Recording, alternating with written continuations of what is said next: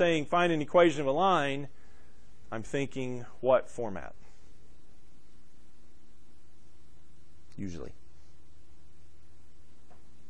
Yeah, y equals mx plus b, right? trying to find that y equals mx plus b. Now, in this case, I've got uh, a couple of uh, bits of information. I want it to be perpendicular to this line. What does that mean?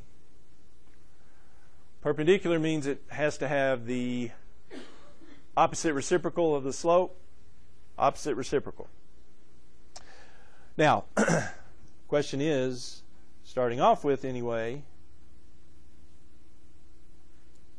what is the slope of 6x minus 2y equals 9? Is it 6? No, it's not 6. I can't read the slope right off of that because it's not in y equals mx plus b form. So I need to put it in y equals mx plus b form.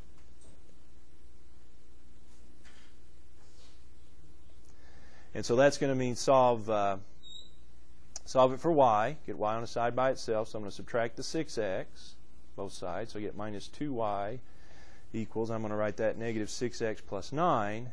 Then divide off the negative 2 and so that's y equals uh, negative 6x. A little more room. So it'll be negative 6x divided by negative 2 and positive 9 divided by negative 2, which gives me y equals 3x minus, and that'll be 4 and a half, 9 halves, however you want to write that.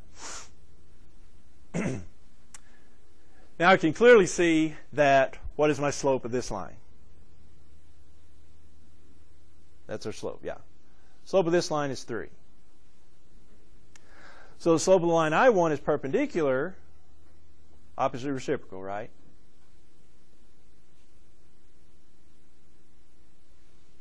What would that be? Negative one third.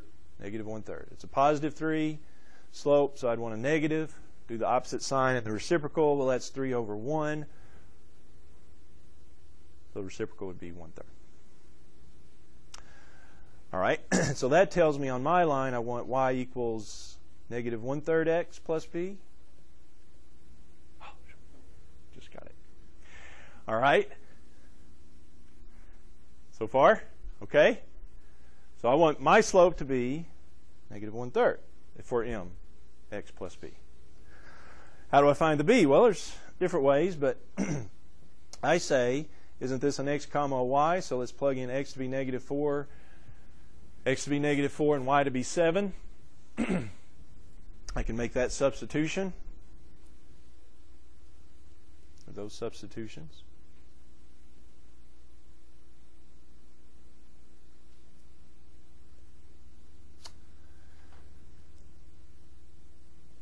And that's negative 4 over 1, so that would be negative 1 times negative 4 is positive 4. 3 times 1 is uh, 3. And so subtract the 4 thirds. B is going to be 7 minus 4 thirds, which is 21 thirds minus 4 thirds. One way we could calculate that, get a common denominator. Uh, 17 thirds is B.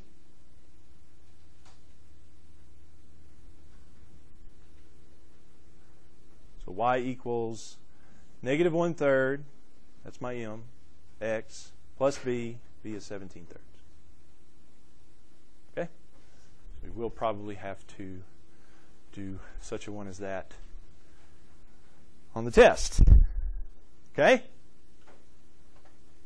Last but not least, everybody get that one?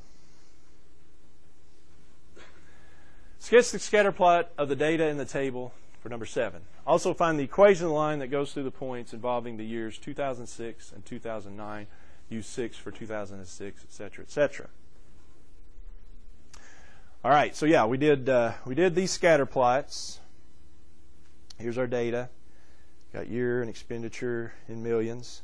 So the uh, scatter plot, uh, it's going to be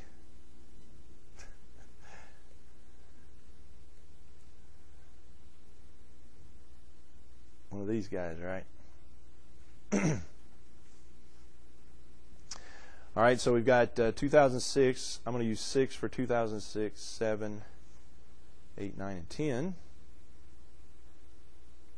for the year.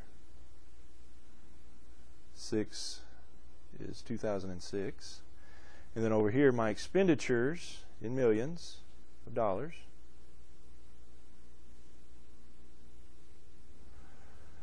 Is 62 to 75. All right, so uh,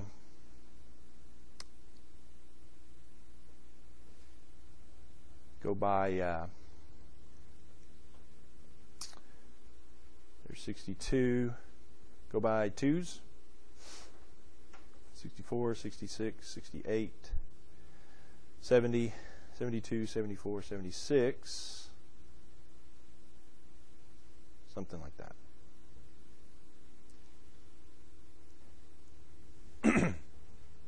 I'm not real neat at these pins here.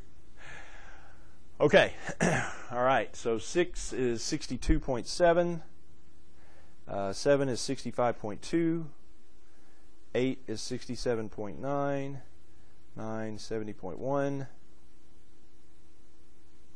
and 10 is 75.3.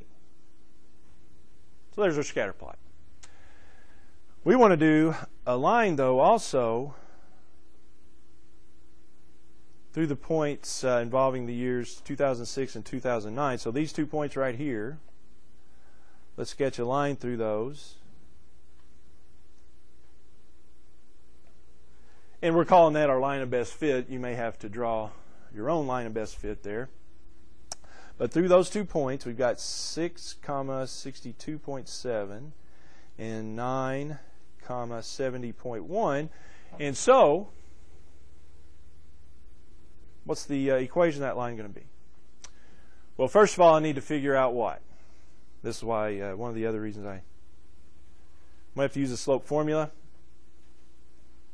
So another formula there for you to remember. You will need this one.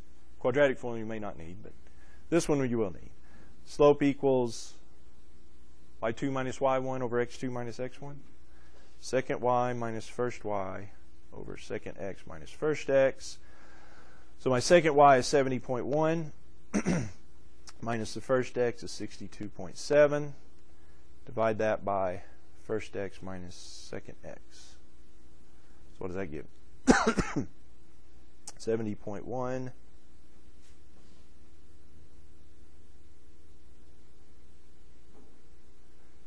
minus 62.7 7.4 divide by 3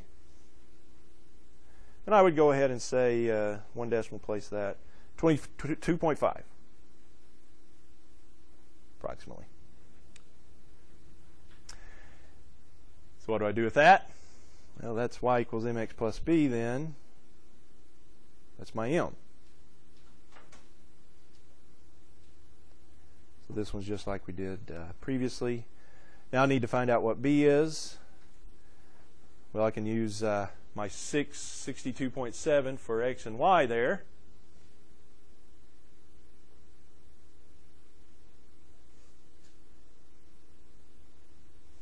Is that okay?